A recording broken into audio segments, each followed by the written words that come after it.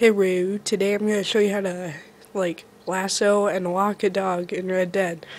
So, here it is. I'm going to have to put down my camera for a second.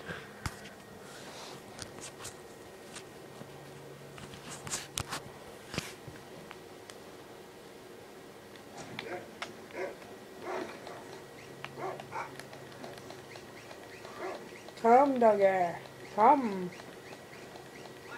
Just go on a little walk here. Hope I don't get bit.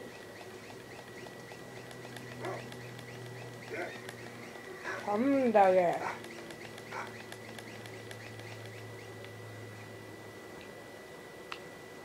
Okay, let's go on a walk, dogger. And now we're just gonna walk. And walk. And walk.